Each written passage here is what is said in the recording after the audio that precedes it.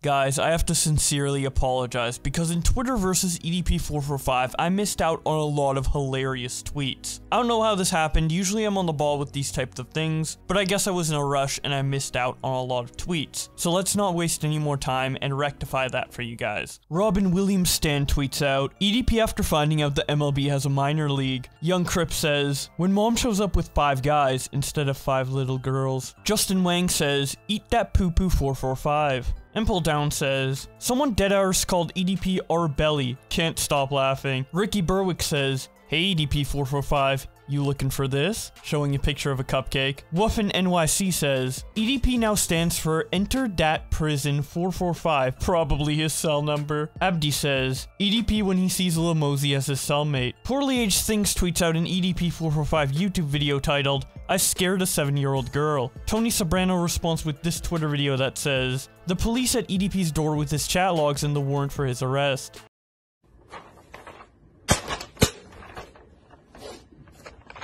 What's this, you fucking piece of shit? What's this? Huh? What's this, motherfucker? What's this? Huh? What's this? What the fuck is this, motherfucker? Huh? What's this? Janky Tay says, EDP reacted like the teachers called his parents. Honestly, we're doing you a big favor. No, no, no, no, no, no, you guys, please. Hi, is this Bakersfield, Kern County? Are you guys really doing this?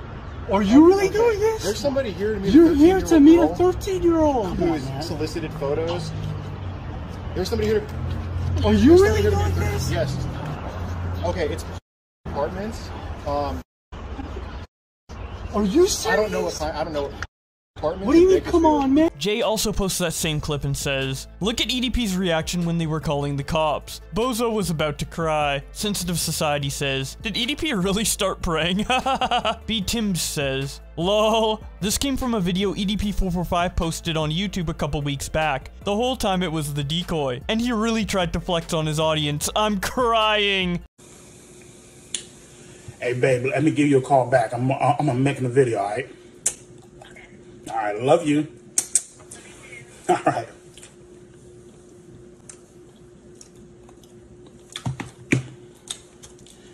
Some niggas know oh, know know about that. Little nerd ass, no pussy getting motherfuckers. You know what I mean? Motherfuckers hating and shit.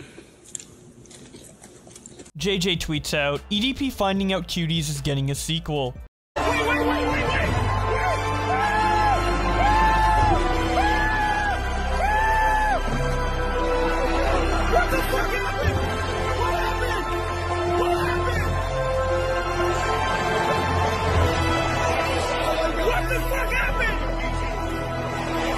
Drip Gut says, EDP trying an adult for the first time.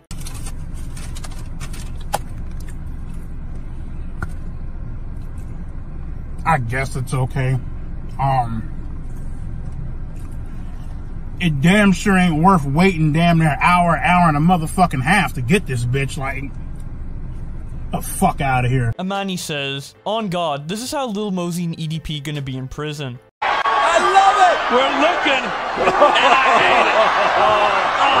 Mudar tweets out, This E EDP445 shot makes me want to start punching holes in my walls. Fuck these pieces of shit predators on our platform. Go to jail and get fucking tossed around. Trollface Incidents tweets out, If you rearrange EDP, you get peed. Step 1. Be popular YouTuber EDP with millions of supporters. Step 2. Develop a small fetish for an underage girl for the second time. Step 3. Send pictures of yourself to this woman and get caught. April 2021, the ED Predator incident. Buckets by the Wall says, EDP after finding out he can get a minor by going to college. Introspective says, saw the EDP DMs that he was sending to what he consciously thought was a 13 year old girl. and I can say with confidence that it's the most disturbing shit I've ever read in my life. Juice Wayne says, can't spell pedo without EDP. 8 Thought says, EDP is not only a fucking creep pedo, he's also the dumbest dude I've ever seen. He admitted to everything on camera and more. Now that's about it for the Twitter reactions, but I do have a couple more things to show you guys, as more stuff has happened since my previous EDP videos. You guys remember this black-haired guy from the EDP Exposed video? Well, he actually ended up uploading his very own version of the Exposing, which has better camera quality and more importantly, shows the camera guy for the Chet Goldstein channel, allowing to get us a new perspective on one of the most iconic parts of the EDP encounter.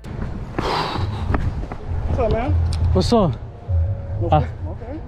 Little fist bump? Chet Goldstein's cameraman actually ended up giving EDP a fist bump. Oh my god, that's hilarious. Anyway, something else you might remember from that encounter is that Chet Goldstein ended up calling the cops towards the end of the interview, which gave EDP enough time to get away in his car. Some people, including myself, were worried about if he would end up being caught because of how they handled calling the police so late into the interview. But luckily, we have a bit of an update on that, as we now know that EDP is actively being investigated by the police. Here's a clip from a news program talking about it more in depth.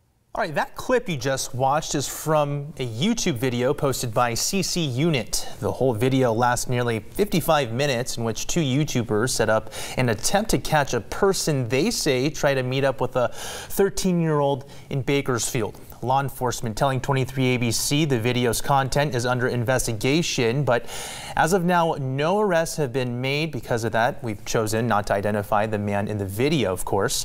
23ABC's Veronica Morley is taking us behind the scenes of that vigilante operation.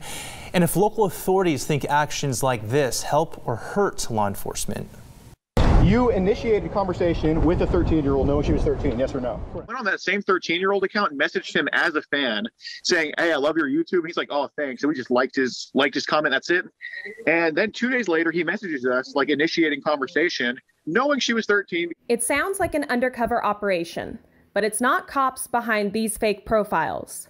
They're the creators of the YouTube channel CC Unit, which stands for Creep Catching. The group posts dozens of videos just like this one, where they posed as a 13 year old online and met up with a person they were talking with, which they say took place here in Bakersfield. What we do is we tell every predator we live in, we live where they're from. So Because like I, I have arrests in Los Angeles, I have arrests in um like Temecula, Riverside area, and then I have arrests in um Virginia. Adrenaline, because you know like you're dealing with a criminal, obviously. you know, it, it, there's definitely some gray areas that are involved in this as far as legal uh, and, and the potential use of some of this as evidence in criminal proceedings. With Bakersfield police say while vigilante operations like this are not illegal, it's a dangerous position to put yourself in and could impede law enforcement down the road. what we see is we get reportings after these events have occurred, and it's never from the people that are directly involved.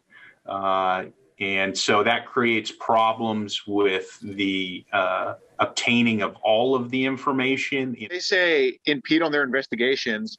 There is no invest. I've, we, we do me and Ghost respectively have caught combined over 300 predators. Every time like law enforcement says, "Oh, you're like not really helping the situation," uh, I, f- I feel like it, it's like a part of their protocol or But BPD says there are several different factors that make operations like this more suited for trained investigators. bring certain skills as well as investigative strategies to the table where we can ensure that one if there's a victim that they're protected uh, so that we can then hold people accountable for their actions in a court of law versus a court of public opinion where I just hope I just hope that you know people people support what we do because we Yeah, in the end, in the end, we do this for, to prevent the action from happening. The last thing I'd like to share with you is that E EDP445 has now deleted every video on his YouTube channel, but luckily, he still has his gaming channel.